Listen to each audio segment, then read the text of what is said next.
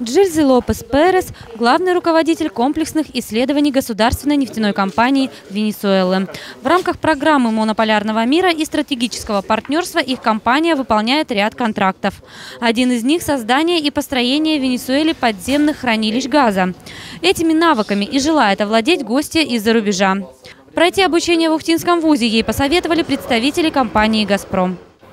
С самого начала ВУЗ впечатляет, эмоции очень положительные. Конечно, я еще многого не знаю, но для этого нужно более глубокое ознакомление со всем университетом.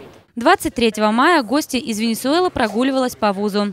Редактор университетской телестудии любезно рассказала, как работает корпоративное телевидение и его основные направления деятельности. Немногим позже госпожу студентку в своем кабинете принял ректор. Они обсудили дальнейшее сотрудничество и обменялись сувенирами. Не тяжелый. Это я думаю, что... Да, это я думаю, что это как раз, да, это не тяжелый. Он не тяжелый. А по компании ПДВС «Газ», судя уже 24 мая она сдала первый экзамен, подтвердив кандидатский минимум по английскому языку. Учиться женщина будет самостоятельно. Следующую степень приедет получать через год.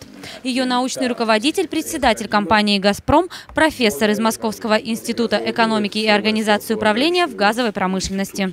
Те работы, которые сейчас мы выполняем по подземному хранилищу, э, они требуют новых подходов. И, естественно, если мы, э, сделав э, данный проект, оставим э, Венесуэлу без специалистов, то они не смогут просто дальше продолжать работу. Поэтому мы вынуждены уже готовить кадры чем кадр требуется высшей квалификации. По словам профессора, преимущество Ухтинского университета – это близость к производству. Данный аспект сыграл немалую роль при выборе вуза гостей из Латинской Америки. Возможно, в скором времени к нам на обучение приедет еще один специалист, который будет изучать магистральную транспортировку газа. Кристина Калягина, Дмитрий Гончаров, «Планета новостей».